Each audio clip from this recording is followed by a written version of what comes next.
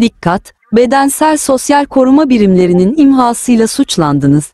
Kararı almaya hazır olun, derhal amputasyon.